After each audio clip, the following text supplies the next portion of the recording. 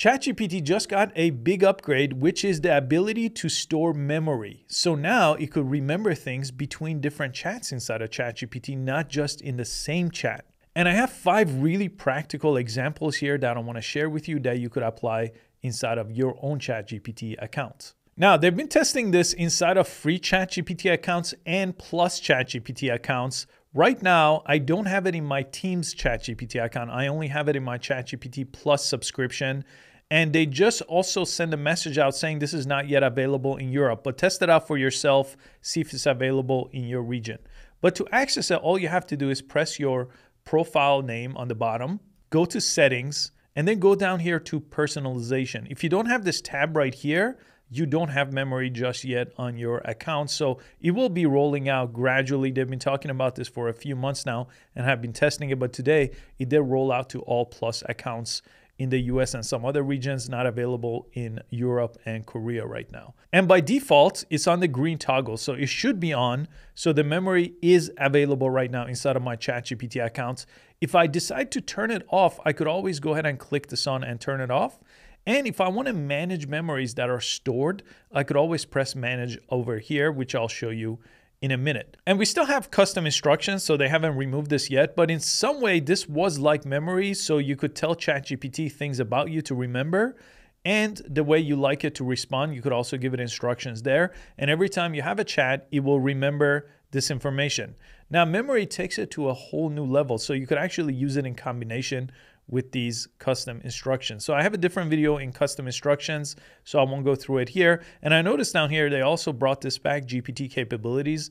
So you could now turn off web browsing if you want. You could turn off access to DALL-E and Code Interpreter. Again, not related to memory, but I did find this interesting down here. And before I show you the five practical examples, you could also click this ChatGPT 4 option up here and turn on temporary chats. And what this allows you to do is basically have a chat with ChatGPT that doesn't access memory. So you don't have to go toggle off memory if you want to go ahead and use it without any memory. You could just go ahead and use temporary chat when you're done. Just go ahead and turn this on. Temporary chat is a way of using it kind of an incognito window where it doesn't have any reference to previous conversation in the memory tab. Okay, the very first practical example I want to show you is I want to tell ChatGPT memory all kinds of different things about my work history. Here's a really easy way to do that. If you have a LinkedIn profile, you could go to your LinkedIn profile, or if you have a resume, you could also use that. But all I'm gonna do is I'm gonna take a screenshot right over here. I'm gonna include my name, my title, and I'll take a screenshot of my recent work history I've been an entrepreneur for 15 years, so this is gonna pull that in. I'll go back to ChatGPT. Now I'm gonna go ahead and upload that picture. And I'm gonna say this is my bio and work history. Commit this to memory. So ChatGPT 4 has vision capabilities, so you could see what's in the screenshot, you could read all the text. And now if I go to personalization again and press manage memory, and right here is pulled in all the information based on the order that it was on that screenshot from LinkedIn. So I'm the CEO of Skill Leap AI since April 2023 in Chicago. It has all the information, even links to my IMDb page from my filmmaking careers. And it's broken this up into different memories. So it's not just one big chunk of memory. So if I decide to delete something, let's say I don't want this one, I could just press delete memory and it's going to delete that very specific memory that it pulled in from that screenshot. So anywhere you have information where you could take a screenshot and pull it into ChatGPT, inside of its memory bank, this is a really useful way to do it in just one click. Okay, now if I start a new chat and say, what's my current job, it will know that information about me. So if I'm replying to an email, for example, it's gonna have this context. So it will put together a current signature, for example, right? Now I have two active jobs on LinkedIn, so I have to actually update it, but it's pulled in both of those active jobs here based on the memory. Now let me show you a really useful shortcut here with this next memory application. So a lot of times I'll take a large amount of text. It could be something I wrote. It could be a video transcript directly from YouTube and I repurpose it. I may turn it into a blog post or some kind of other type of post on social media. This is a way that's gonna save you a ton of time and I'll put this prompt in the description so you could copy and paste. Always make sure this is a little bit more fine-tuned for your use case, but every time I type this, and this could be any type of shortcut, okay? Mine I just put in this format, but basically blog. I want you to take the text that I paste and turn it into a blog post. And then this is the little bit of extra. And usually my prompt for this is longer. So I'm to probably add that with a little bit more context. It needs to be fifth grade reading level, educational but friendly tone, have H1 and H2 tags, and SEO friendly.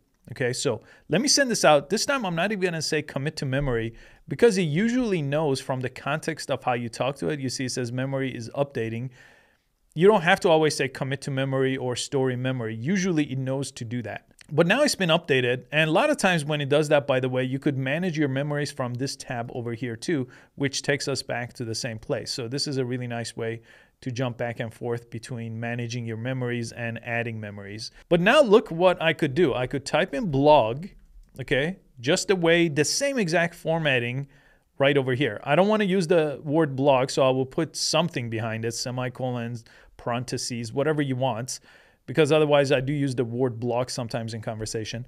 Now I just have to paste some text. So let me go to my YouTube video. And this YouTube video, if you click usually on YouTube videos, they have a show transcript section. They, they pull the transcript here.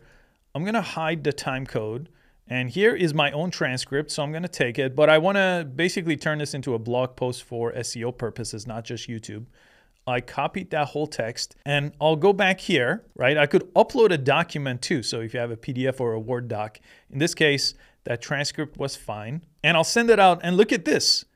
It didn't have any conversations with me. It used the prompt. It's basically now storing my prompt. I have a shortcut, blog, and every time I type in blog and upload a PDF, upload a doc, upload any type of transcript from YouTube, it's going to give me exactly what I'm looking for. This is the H1 heading that I was asking for. This is the H2 headings I was asking for. It's SEO friendly, right? And it's going to go to work just like this. And when it's done, I could just copy and paste it into a blog post or just go ahead and put my own manual finishing touches to it to get it ready to be posted. Let me just see if you could do this from a screenshot too. So I'll type in blog, use a screenshot. Let's see what happens there. Oh, wow, this worked pretty well too. So I typed in just blog. That's all I wrote. I added that screenshot that I used in example one and look at that. It's pretty good. It has the H1 heading, it has the subheadings here, and it is writing it at the reading level that I told it to, fifth grade reading level. It looks like just from looking at a lot of chat GPT text. Very useful. Okay, this one's gonna be handy for a lot of different people for a lot of different applications. Every time I type headline, I want you to analyze the headline I paste and give me five alternatives for it. This is probably one of the most common ways people use ChatGPT to come up with alternatives to text. So this could be a headline for an email. In this case, it's a headline for my website. So I've been A-B testing the headline that goes on the homepage of skillleap.ai. So I'm gonna go ahead and copy this headline and let me go ahead and just store this in memory. So I just have to send this before I copy that headline over. It's updating the memory, okay? So now, just for the sake of showing you that this works in a new chat, I'm gonna open a new chat and let's type in this time, let's type in headline and let's type in that one headline. Okay, let's send that out. And just like that, here's five alternative headlines. Okay, very good. Empower new career opportunities with essential AI skills, fast track your career growth by learning AI skills. So I could, again, take one of these or two of these and tested, A-B tested one versus the other one, the current one I have, and see which one works better, which I'm in the in the process of doing right now. I was just using a custom GPT that I had built to do this, but now I could just use this quick shortcut inside of my memory, this headline shortcut, and do the same thing. And it's gonna remember that across all my chats. Now we have blog, we have headlines. We could take a screenshot and do the exact same thing with it. Just taking the screenshot of the website, dropping that in instead of typing out the headline. Okay, here's the next one. I'm going to ask you to never use this word when responding, and I'm going to ask you to commit it to memory, delve. Okay, so for some reason, ChatGPT, based on its training data, uses the word delve more than any other word that I've come across. And in conversation, in any blog I read, I really never use the word delve personally, and I really never even come across it. So every time I see delve, it's a clear giveaway that they're using ChatGPT or some other AI tool to write. So I'm gonna go ahead and add that to memory. Okay, looks like the first time I said write a sentence with the word delve, it did do that. And I said, remember I told you never use that word. And then when I said write a sentence to incorporate the word delve, Since I've committed to not using the word in my response, here's an alternative sentence. And he went and actually gave me an alternative that didn't have delve. And a few other times that I tried this, sometimes you would get it the first time, but sometimes you had to have a test here, basically saying, forcing it to use the word. And then eventually it would refuse to use the word after a couple back and forth. And it is inside of the memory bank now. So I would recommend if you have words that you really don't like, that you see ChatGPT using over and over again, add it here in memory and add it in custom instruction in the second box to say never use these words. I'll make a dedicated video to share with you all the different words that I've put together and excluding them from ChatGPT, but Delve is one that I recommend you do right now. And I use ChatGPT all the time to reply to emails. So you could do the same thing with the shortcut I showed you. But another thing you could do is here's an email signature. Every time you reply to an email, make sure you add this email signature.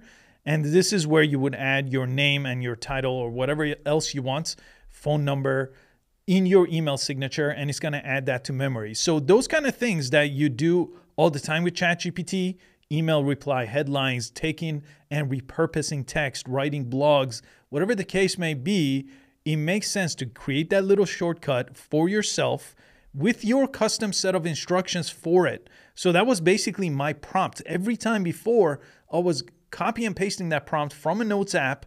Now I have a little shortcut. It's inside of the memory bank, a huge time saver now. And this is also coming to custom GPTs, which is going to completely change how people will interact with custom GPTs now that they could pull in from that person's memory bank and be more customized and more helpful. It is not yet available for custom GPTs. And if you're not familiar with custom GPTs, I have a beginner friendly video about custom GPTs, so I'll link that here to watch next. Thanks for watching. I'll see you next time.